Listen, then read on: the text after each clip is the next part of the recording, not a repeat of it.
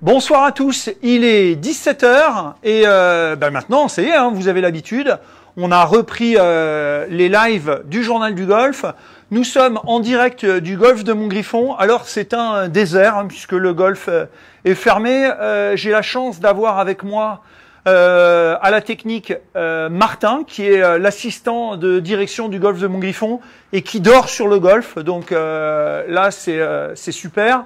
Euh, donc je le remercie et évidemment nous respectons euh, les distances de, sécurité euh, sanitaire. Merci au Golf de Montgriffon de, nous accueillir pour cette soirée dont le thème est Préparez-vous pour le Masters. Alors vous allez dire oh là là mais ami euh, euh, je savais pas que j'allais jouer le Masters, je suis pas prêt. Non non rassurez-vous, vous allez ce soir vous préparer à regarder le Masters de façon à apprendre quelque chose, de façon à euh, en tirer euh, quelque chose, hormis le fait que ça soit un spectacle euh, formidable. Alors évidemment, vous connaissez mes convictions sur ces lives du journal du golf. Je veux quelque chose de convivial, je veux quelque chose d'interactif, et donc je vais vous demander de participer. Votre première participation, eh bien, ça va être de me mettre un pouce pour me dire si vous m'entendez bien et si vous me voyez bien. Allez-y, et Martin, tu regardes, tu contrôles. Est-ce que tout est OK? Est-ce qu'on peut attaquer cette émission? Oui Allez, c'est parti. Évidemment, euh, Martin, s'il y a des questions, tu me fais le, tu me fais le, relais, OK? Alors, euh, mettez-moi dans la barre de commentaires justement, hein, puisqu'on va attaquer ce, ce thème. Euh, préparez-vous pour le pour le Masters. Comment vous allez vous préparer vous pour le Masters euh, Qu'est-ce que vous allez observer Qu'est-ce que euh, vous avez décidé de, de, de regarder, d'observer Et qu'est-ce que vous allez noter concernant ce Masters? Allez-y, mettez-moi en commentaire et puis justement on va participer et on va échanger avec le reste avec le reste des internautes. Alors, juste avant de commencer euh, à préparer le, le Masters, euh, vous faire un petit peu un suivi de ce que nous avions euh, évoqué la semaine dernière. La semaine dernière, je vous avais expliqué euh, comment faire des expériences et on avait pris une balle en mousse euh, qu'on avait mis sous, le, sous les pieds pour tester un petit peu l'équilibre, pour tester un petit peu, on avait parlé aussi de, de force, d'utilisation de la force du, qui venait du sol. Et alors, puisque j'assure le suivi de, mes émissions, j'ai eu un coup de téléphone de Grégory Lebras. Alors Grégory Lebras, euh, ça n'est pas un inconnu pour vous si vous avez suivi régulièrement euh, mes lives, puisque euh, il était intervenu justement pour The Force Pedal. On va voir hein, ce que c'est. Et puis il était intervenu aussi pour Mike Adams. Euh, puisqu'il est l'assistant de, de, Mike Adams ou l'associé de Mike Adams en, en, France. Donc il m'a appelé, il m'a dit, bah, écoute Rémi, euh, euh, ta balle de tennis coupée en deux ou la balle en mousse, c'est très bien, mais pour éviter les blessures, alors il me connaît un petit peu, hein, éviter les blessures, un, parce que en coupant une balle de tennis, moi je risquais de me, me couper un doigt, mais aussi les blessures parce que sur une balle de tennis ou sur une balle en mousse, eh bien c'est vrai qu'on peut euh, déraper. Alors Grégory m'a envoyé euh, une force pédale ou plutôt deux forces pédales. Donc euh, on va regarder justement et puis on va pour ceux qui avaient aimé l'émission de la semaine dernière, eh bien on va regarder un petit peu ce que ce que ça donne. Alors vous voyez c'est présenté dans une dans un, un, sachet donc il y a deux demi-lunes comme ça en, en silicone. Alors moi je vais prendre euh, il y en a une jaune et une orange. La orange est, euh, est soft, hein, on, on, le sent quand on, la, quand on appuie de, dessus. C'est euh, fait en nid d'abeille. Alors je vais m'approcher, Martin, tu me dis quand je m'arrête, hop, voilà. Donc euh, là, c'est en nid d'abeille, donc évidemment, ça adhère au sol. Et par rapport à la balle de, de, tennis ou par rapport à la balle en mousse que je vous avais conseillé, bah évidemment, là, c'est beaucoup plus confortable. Vous ne risquez pas de tomber, vous ne risquez pas de vous blesser. Et puis, il y a deux donc de dureté. Et euh, il y en a une, donc pour débuter, la orange, euh, qui est assez souple et qui va euh, renvoyer justement un peu de puissance. Et puis après, il y a la jaune qui, elle aussi, permet de, sentir justement la, puissance qui, vient du sol. Alors évidemment, bah, au niveau du retour des sensations, bah, c'est bien plus efficace qu'une balle en mousse. Et bah, ce que je vous propose, c'est de l'essayer. Donc le bon le bon endroit, le bon emplacement pour placer le pour placer la la force pédale, eh bien c'est de la placer sous. en fait, je vais montrer par rapport à ma main. Vous avez les orteils de votre pied qui sont là. Eh bien, on va le placer ici, juste à la base des, des orteils, ici. Voilà, donc on va mettre la, la cale ici et puis je vais swinger et je vais essayer euh, de venir appuyer sur cette euh, force pédale euh, juste avant l'impact. Le bon moment, c'est juste avant l'impact. Hein, comment comment vous en souvenir? Eh bien, c'est un petit peu comme au basket. Imaginez que je veuille lancer mon, mon ballon. Eh bien, quand est-ce que je vais le lancer? Je vais pas le lancer avant d'avoir sauté. Ce serait stupide. Et je vais pas non plus le lancer au moment où je réatterris. Donc, j'appuie dans le sol, je prends ma puissance du sol, et au moment où j'ai décollé, hop, là j'envoie. Regardez bien, là je suis là, je viens prendre la puissance du sol, et hop, j'envoie. Voilà. Ok Donc on va s'inspirer du geste du basketteur pour justement euh, tirer la, puissance du, du sol. Alors hop, je prends donc alors avec la, orange, je vais taper, euh, je vais taper plutôt un fer, et avec la jaune, je vais plutôt taper le, driver. Alors hop, voilà, je me place, je place la force pédale. Alors évidemment, hein, si vous voulez en savoir plus, vous pourrez aller taper theforcepedal.com, euh, T-H-E force F-O-R-C-E, pédale, P-E-D-A-L, hein, puisque c'est euh, une marque américaine, euh, créée en France hein, par un Français, donc grégarylebras.com. Allez, on est parti. Super expérience, ça. Alors, c'est génial. C'est génial parce que j'ai l'impression, que ça va m'envoyer. Euh, quand je dis j'ai l'impression que je vais m'envoyer en l'air, calmons-nous, calmons-nous. Allez, c'est parti.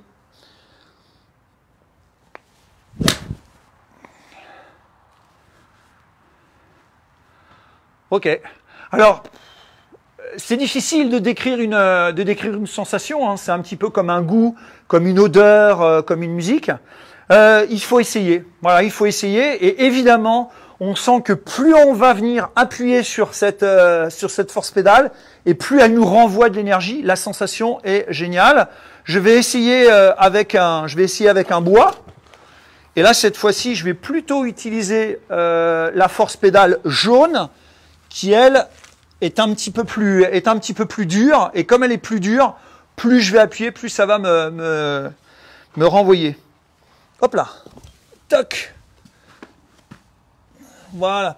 Alors le bon endroit, hein, je le disais, c'est euh, c'est euh, pile sous la sous la plante des pieds. C'est le bon point d'application qui va permettre d'activer les chaînes musculaires pour optimiser la restitution de l'énergie euh, du sol vers le corps et du corps ensuite vers le, club. Allez, c'est parti avec le driver.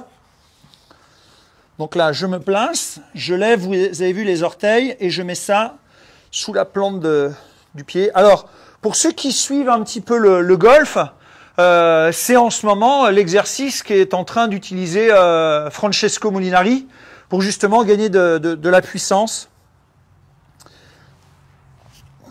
Moi, je vois bien, j'appuie ici, moi. C'est ici que je finis.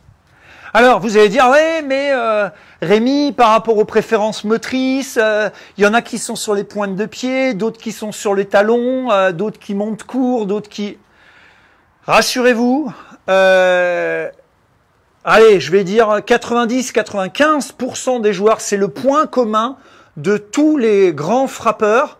Avant l'impact, ils appuient sur cette zone. Et ensuite, certains vont rester en appui sur la pointe de pied, d'autres vont venir après basculer sur le, sur le talon, d'autres vont être plus ou moins sur l'extérieur. Mais si vous êtes sur l'extérieur, vous allez tout de suite sentir que justement euh, vous vous baladez. Alors que là, l'appui il est vraiment, euh, il est vraiment solide. Moi, ça marche super bien pour moi.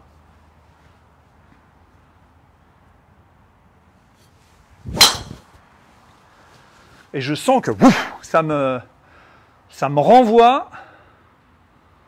C'est génial. Génial. Puis alors, beaucoup plus stable que, que la balle de, de, tennis euh, couper en deux. Oh là là là là là là là Je vois qu'il est en train de faire des petits sauts de cabri comme ça. Euh, on a un invité euh, ce soir parce qu'en fait, euh, on va, je vais tout vous dire. hein. De toute façon, j'ai pas euh, l'habitude ni de vous mentir ni de vous cacher des choses. Euh, si j'ai le droit de venir euh, sur le golf de Montgriffon qui est fermé, qui est désert, c'est parce que euh, je coach un joueur professionnel. Il a fini septième des, des cartes sur euh, le Pro Golf Tour. Euh, donc il a obtenu sa catégorie pour jouer en 2021. Euh, c'est Sam Testelin. Sam, ce que je te propose, euh, dans Testelin, il y a test, eh bien c'est justement de venir tester cette force pédale. Alors tu vas me tester la orange avec un coup de fer, ok Et puis après tu me testeras la, jaune avec le, avec le driver, ok Allez, c'est parti. Alors évidemment, hein, dans le respect des, règles de sécurité, moi je vais m'écarter un petit peu. Règles sanitaires et puis parce que je, je tiens aussi à ma vie. hein. Et c'est aussi pour ça que je pense que le golf est un sport qui mériterait euh, que l'on puisse jouer pendant le confinement, puisque évidemment, euh, quand on joue, on n'a pas euh, à être dans la zone de postillonnage. Martin, tu me dis hein, s'il y a des questions. euh, hein, ok. S'il y a des commentaires, s'il y a des gens qui nous disent ce que vous allez regarder pendant le Masters. Ouais, ça c'est super. On voit bien hein, que tu viens. euh, Ouais, que tu viens, ouais, voilà, que tu viens, euh, que tu viens charger, chercher et charger. Bien, euh, bonne, euh, bonne expression, Sam.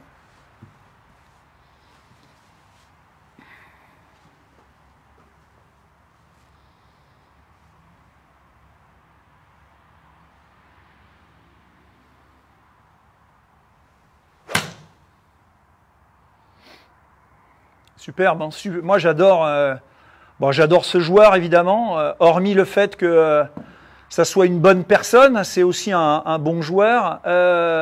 Sam, ça fait un petit moment maintenant qu'on se connaît, qu'on travaille ensemble. On a eu des, moments d'interruption parce que moi j'étais parti et, toi tu étais resté dans, dans la région, mais moi je t'ai connu tout jeune. Il y a quelque chose que tu as toujours gardé, c'est euh, ce contrôle de, de, de l'équilibre.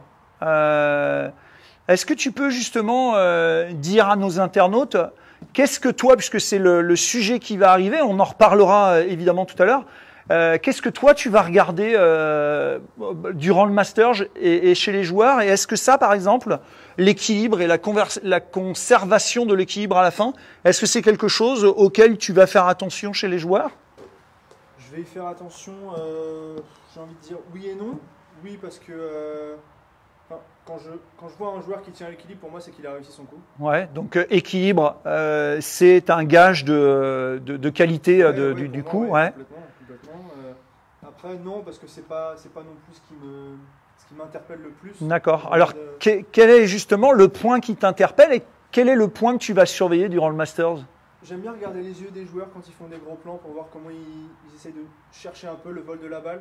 Ok, waouh, super, intéressant, très, très intéressant. Ok. Parce que souvent dans leur euh, Non, non, non, non, mais je vais, je vais répéter, hein, puisqu'on a, on a qu'un micro, mais euh, c'est une discussion qu'on a avec euh, Sam, où euh, il explique justement que lui, son point d'attention sur le Masters cette semaine, ça va être de- d'essayer de, capter le regard des joueurs pour voir comment les joueurs euh, regardent, comment les joueurs vont euh, imaginer la, le vol de la balle ou euh, la trajectoire avant de, de jouer. Tu nous essayes la, la jaune Ouais. avec ton driver? Allez, c'est parti. Ouais, donc c'est euh, c'est assez amusant justement de, de voir comment euh, chaque euh, chaque spectateur, hein, qu'il soit professionnel, qu'il soit amateur, euh, va justement euh, se servir de ce Masters pour essayer d'apprendre quelque chose.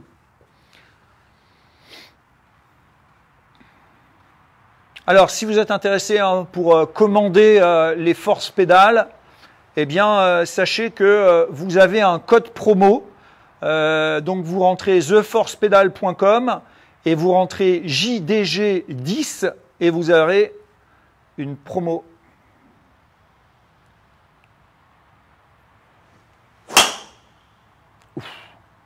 Fantastique ça, Sam. Bravo. Toujours, euh, toujours dans le contrôle. Parfait. Ok. Allez, alors euh, ben, on va justement, euh, entamer cette, discussion. Je vais reprendre ma, place. Donc on va, observer plusieurs choses justement durant le, Masters. Martin, tu hésites pas, hein, tu me coupes s'il y a des questions, s'il y a des commentaires. Euh, et sinon, envoyez-nous des, envoyez-nous des pouces et dites-nous ce que vous allez observer pendant le Masters. Là, on a donc euh, Sam Testelin qui est joueur professionnel. Il évolue sur le Pro Golf Tour. Il a fini septième des qualifications, donc il a obtenu ses cartes pour euh, 2021.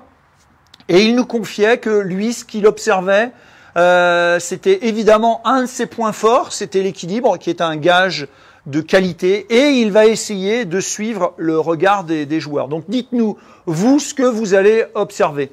Moi, ce que je vous conseille, en tout cas, une première chose, regardez bien, euh, pour suivre le Masters, euh, la meilleure chose, c'est d'avoir un petit carnet, un crayon, et de noter pendant que vous allez être devant votre télé, de noter euh, ce que vous observez et ce que vous regardez. Pourquoi?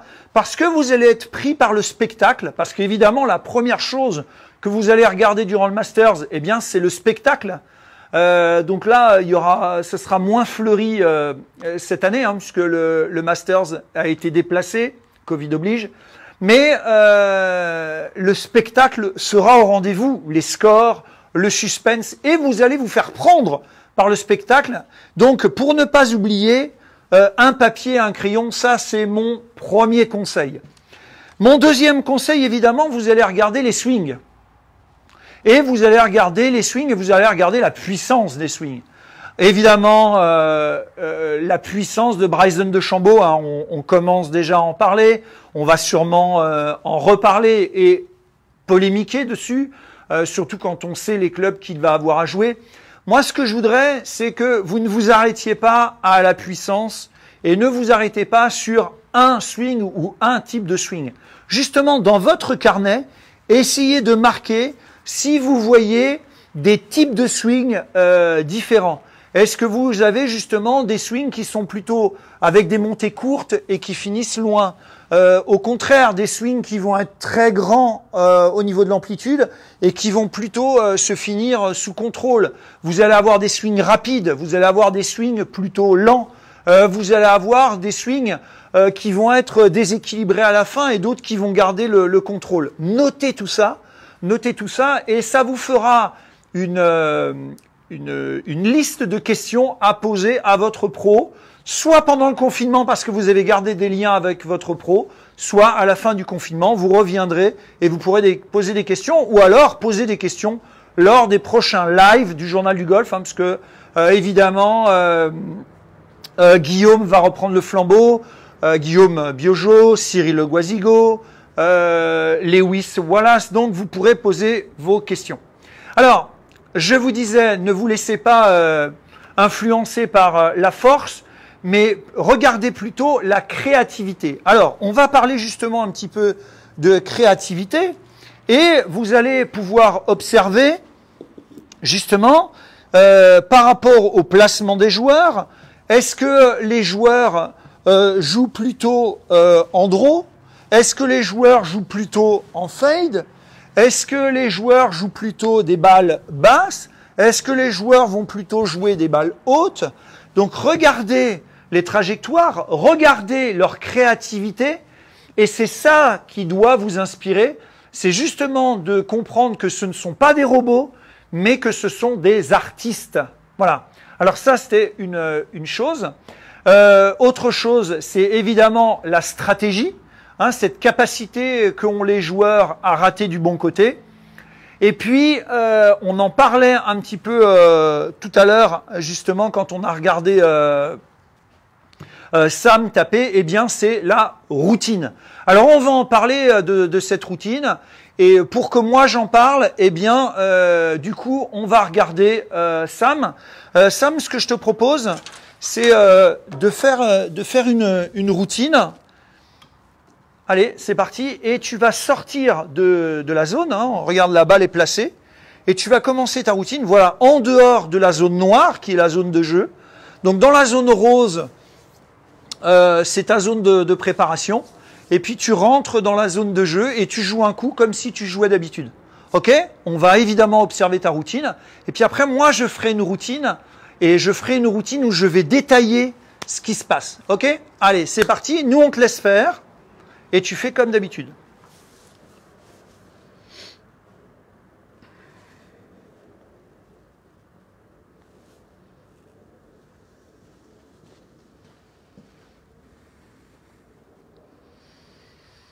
Alors, je vous laisse euh, observer euh, la, routine de, Sam Testelin.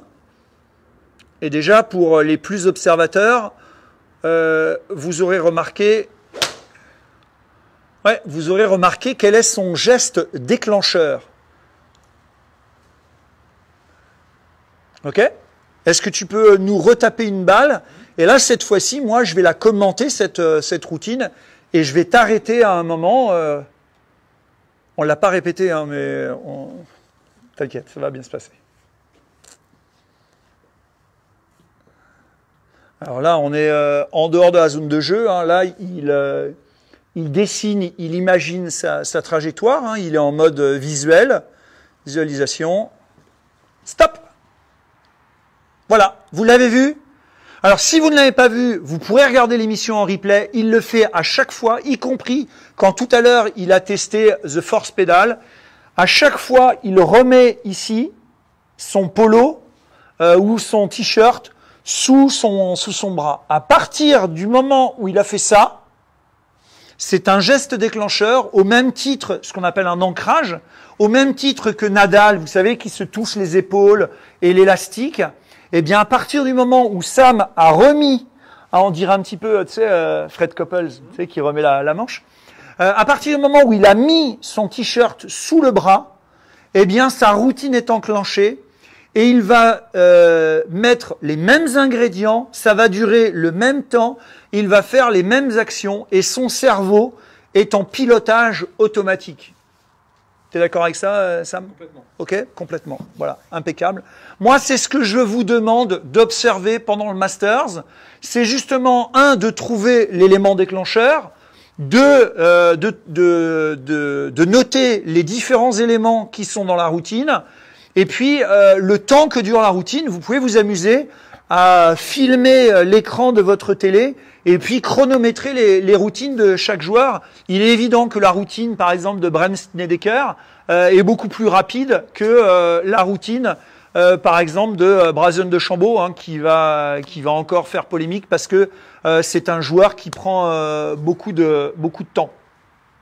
Là maintenant, ce que je vais vous proposer, donc je vais reprendre la place Sam, et moi je vais montrer quelques gestes déclencheurs de, routine euh, vous allez voir. Alors, le premier geste déclencheur, et puis après, on parlera aussi euh, de la fin de, de, la fin de routine. Et là, on te réobservera parce que je pense que je pense que c'est intéressant. Alors moi, il y a un geste euh, de routine que j'aime bien. Tout à l'heure, je parlais de Nadal, je parlais de Fred Couples, euh, je parlais de Brand Snedeker. Euh, évidemment, Dustin Johnson avec, vous savez, son, son fameux placement de coup de droit lors de, au potting euh, et euh, ce que tout le monde avait observé. Euh, voilà, ça, ce sont euh, des ingrédients dans la routine pour encore une fois passer, moi, ce que j'appelle en pilotage automatique. Alors là, regardez bien, euh, moi, je vais aussi faire une routine et cette routine, regardez bien comment elle va être déclenchée. Elle va être déclenchée par, eh bien, ma bouteille d'eau. Voilà. Donc je suis là, hop, J'arrive, euh, j'arrive devant ma balle. Euh, mes partenaires sont en train de chercher la balle. Il y en a un qui est en train de jouer. Ils sont prêts. Regardez bien. Hop, je suis là.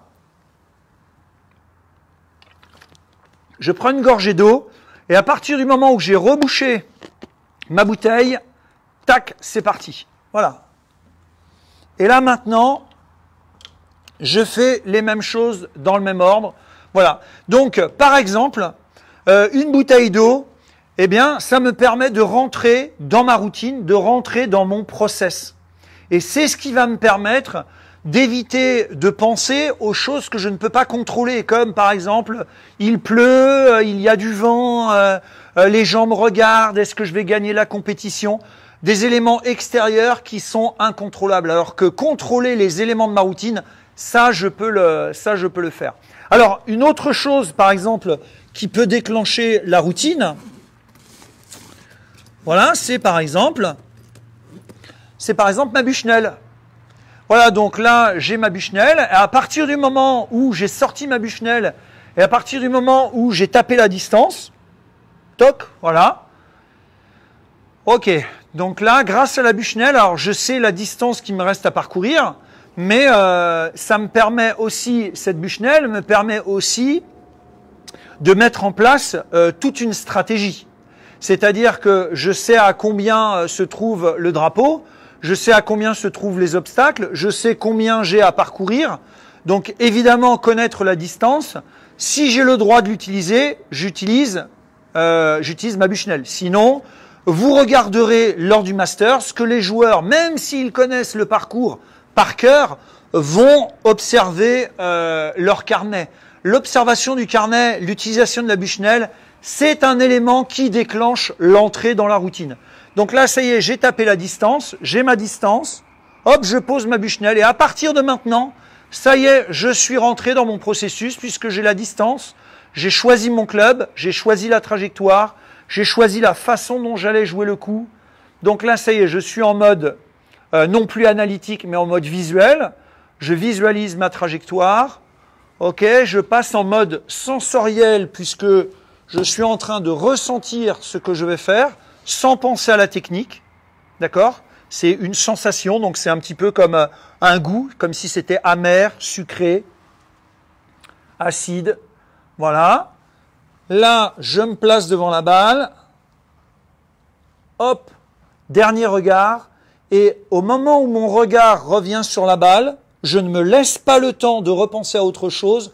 Clac, je déclencherai mon mouvement. Allez, je recommence. Hop, c'est parti. Mode visuel. En plus, on a des jolis nuages. Alors, euh, tiens, c'est intéressant. Toi, tu vois là-haut ou tu vois par terre? Là-haut. Ouais, là-haut, hein, évidemment. Alors, je, je lui pose la question pour qu'on en parle. Évidemment, hein, je le répète, je connais euh, Sam depuis qu'il est tout petit et je connais très bien son fonctionnement. Allez, hop, c'est parti. Je vois, je sens et je joue. Voilà. Alors là, maintenant, ce qui est intéressant, c'est que je ne vais pas euh, évaluer euh, mon résultat, mais je vais plutôt évaluer ma capacité à respecter ma routine. Et là, je me mets une note de euh, 8 sur 10. Je n'ai pas jugé le coup, hein. le coup était plutôt bien, mais je juge surtout ma capacité à faire de l'amnésie golfique. C'est-à-dire, je vais juger ma capacité à ne pas penser à la technique, mais à être dans le, dans le process. C'est ça que vous devez observer pendant le Masters. C'est les routines, c'est la façon dont les joueurs vont se, se comporter. Alors là maintenant, on va regarder un petit peu justement la fin de la routine et ce qu'on appelle la routine d'après-coup.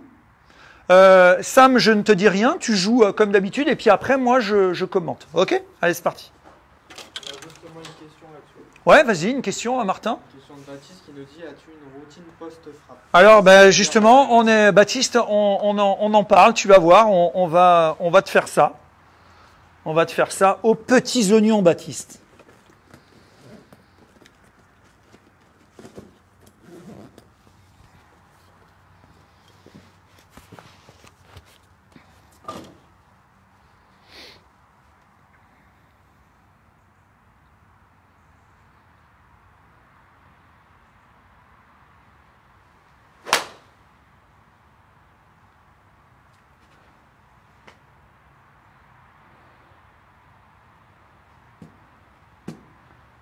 Ok. Voilà. Et donc là, euh, c'est fini. C'est-à-dire que là, à partir de maintenant, euh, vous avez vu, euh, il a posé le club, il a fait son petit truc, il va aller ranger son club dans le sac. À partir du moment où le club est rangé dans le sac, je sais que Sam est passé à autre chose et qu'il a terminé le coup, c'est-à-dire il a terminé sa routine de départ, l'exécution du coup et la routine euh, d'après coup. On est d'accord? C'est-à-dire qu'à partir de maintenant où le club est rangé, il n'y a plus rien qui, t'affecte. Euh, moi, quand, euh, quand je te vois euh, finir et, regarder, ce que j'aime encore une fois, c'est cet équilibre. Ce que j'aime, c'est que justement, tu prends le temps d'observer et, de récupérer, j'allais dire, des, informations de, ta trajectoire. Est-ce que justement, à l'entraînement, tu t'entraînes parfois à ne pas regarder le résultat et essayer de te concentrer sur le respect de ta routine? Pas vraiment, non. J'essaie toujours de, de, regarder le résultat parce que ça me, ça permet de me juger aussi. Ouais. Surtout à l'entraînement, c'est important. Parce qu'on joue comme on s'entraîne. Hein, ouais, ouais, L'entraînement doit être le plus proche possible de la réalité du, du, parcours. Du coup, non, j'essaie toujours d'analyser mes coups, le résultat. Euh, voilà, c'est surtout analyser le résultat quand même. D'accord. Donc euh, attention hein, de ne pas être toujours dans le résultat, mais parfois d'être aussi dans les moyens, hein, ce qu'on appelle des objectifs de résultat et des objectifs de moyens. Donc euh, parfois hein, de se concentrer sur la, sur la routine. Alors moi je vais vous en mimer plusieurs des, des, routines. On va essayer, de, on va essayer de, de, regarder ça ensemble. Là moi je vais vous faire une routine d'amateur. Ok, et puis après, euh, Baptiste, je te ferai une routine euh, de joueur professionnel et tu pourras copier sur la routine justement de, de, de Sam Testelin. Allez, la routine d'amateur. Oh non Oh là là, mais fais chier Ah, ah mais ah, de toute façon, je suis nul. Hein. J'y arriverai pas. Ok. Alors, qu'est-ce qui vient de se passer? Eh bien, là, je viens puisque vous le savez, hein, je ne vais pas vous le répéter, vous l'avez vu dans, plusieurs lives, euh, émotion égale mémoire. L'émotion, qu'elle soit positive ou négative, à partir du moment où vous mettez de l'émotion, vous rentrez en mémoire. Donc là, c'est une émotion qui est négative. Je viens de me gronder, je viens de me disputer. Euh, eh bien, tout ça, ça y est, boum, c'est mis en mémoire. D'accord euh, Comme si vous étiez sur un ordinateur et vous, vous venez d'enregistrer fichier sous, coup raté. Celle-là, elle, est, euh, elle est en mémoire. OK? Donc maintenant, ce qu'on va faire, eh bien au contraire, c'est que si je rate mon coup, eh bien je reste impassible. Voilà. OK. Je range le club. Ce qui est fait est fait. Je ne peux plus euh, revenir sur ce qui a été fait. Donc je range le club je mets pas d'émotion et comme ça, j'essaye d'oublier cette balle le plus vite possible. Si ma balle est réussie, regardez bien.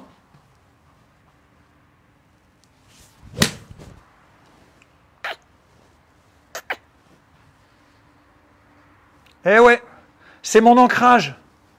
Magnifique, petit bisou. Pourquoi? Parce que si je lui mets de l'émotion positive à cette balle, eh bien, je vais m'en souvenir. Donc, évidemment, et là je réponds à la question de Baptiste, que la routine d'après-coup est essentielle pour euh, savoir ce que vous allez mettre en mémoire. Donc, si vous avez quelque chose à observer durant le Masters, eh bien, c'est comment les joueurs vont réagir après avoir tapé la balle et surtout après avoir tapé un bon coup et comment ils vont réagir après avoir raté un coup. Quand ils vont rater un coup, le club va être rangé dans le sac, pas d'émotion, nothing. Par contre, quand ils vont faire quelque chose de bien, vous allez voir un ancrage. Ça peut être le point serré, ça peut être la frappe sur la cuisse, ça peut être le bisou, c'est plutôt personnel, mais il y aura un geste d'ancrage. Ok? Ça marche? Ouais, Martin, vas-y. Demande s'il y a un ordre conseillé dans les étapes de la routine. Alors, euh, moi, ce que je conseille dans l'ordre de la routine, c'est l'analytique, puisque je prends les renseignements pour choisir ma trajectoire, choisir mon club, choisir ma technique. Ensuite, ce que j'aime bien, et c'est pour ça que j'avais sorti l'impact bag, moi, ce que j'aime bien, c'est essayer, si vous voulez, là, de mimer euh, le, swing lors du, mouvement d'essai, même si je ne le fais pas entièrement, des fois je fais qu'une partie, ou alors un peu comme Matthew Wolf. J'adore Matthew Wolf parce que regardez bien quand il fait quand il fait comme ça, euh, comme disait son, son coach, show me your impact. Montre-moi, montre-moi ton impact. Ça, je trouve que c'est la plus belle routine qui puisse exister en ce moment puisqu'il mime l'impact. On le sait, c'est l'impact, le moment le plus important du mouvement de golf. Arrêtez de me mimer des choses qui vont se passer dans la montée. La montée, elle sert à rien. C'est la descente qui est importante et c'est le moment de l'impact qui est important.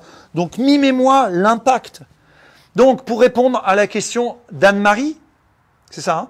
Euh, Oui, il y a l'analytique. Après, il y a euh, le mode euh, sensoriel, il y a le mode visuel, et puis après, je passe en pilotage automatique. Et puis la post-routine, on vient de le dire, c'est surtout essayer d'enregistrer du positif. Voilà, on va terminer cette, cette, ce, ce, live, cette petite séance. Et alors nous, on va se faire un petit, un petit délire avec, avec Sam. Nous, on va jouer. Alors, euh, Martin, tu vas te déplacer un tout petit peu. Et nous, on a décidé de jouer par-dessus le vainqueur de l'année dernière. Évidemment, euh, avec tout le respect que, nous lui devons. Et donc, pour faire ce, ce coup lobé, juste vous donner un tout petit conseil. Regardez bien, j'ai une baguette aimantée. Toc, que je vais poser sur mon club. Et on y reviendra évidemment. Hein, ça fera, euh, ça fera partie d'un live. Euh, où on parlera de la différence entre ouvrir la phase de club et puis orienter la phase de club à droite. D'accord? Là, par exemple, quand je vois des amateurs me dire tiens, je vais ouvrir ma phase de club, euh, non, là, tu viens de l'orienter à droite. Tu viens pas de l'ouvrir. D'accord? Donc, faire attention entre ouvrir et orienter à droite. Ça, c'est un sujet pour une prochaine émission et on reparlera évidemment de cette, euh, de cette baguette, de cette tige aimantée. Allez, on lui passe par-dessus alors Par-dessus Tiger Woods. C'est bon, Martin, tu, tu vois notre invité de ce soir? C'est quand même la grande classe pour euh, une émission sur le Masters d'avoir en invité euh, Tiger. Oh yes. Allez, passe par-dessus.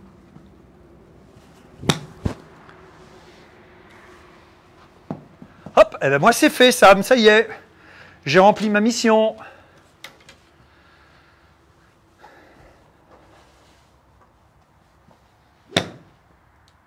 un peu à gauche. Ouais, tu passes un peu à gauche, dis donc. Ouais. Ouh, mais t'as peur que, que Tiger te... Hein T'as peur de Tiger? Ah, là, ah, là c'est bien, là c'est beaucoup plus, euh, beaucoup plus courageux. Ok, super. On reste euh, côte à côte. Voilà, écoutez, on vous souhaite euh, une, euh, on vous souhaite une bonne soirée. À Sam, on te souhaite évidemment une bonne saison 2021. Euh, Donc sur le sur le Pro Golf Tour, vous pourrez le, le suivre hein, sur sur Facebook, sur sur Internet. Là pour l'instant, il est en train de il est en train de s'entraîner. Et puis moi, je vous souhaite un bon Masters. Euh, Amusez-vous évidemment, regardez le spectacle évidemment, mais pensez bien à noter plein de choses pour euh, prendre des informations et améliorer vos entraînements. Vous le savez, s'entraîner, c'est bien. S'entraîner bien, c'est encore mieux. N'oubliez pas de vous inscrire en cochant la petite cloche pour être alerté des prochains lives du journal du golf. Et rappelez-vous, le golf reste un jeu. Alors, amusez-vous.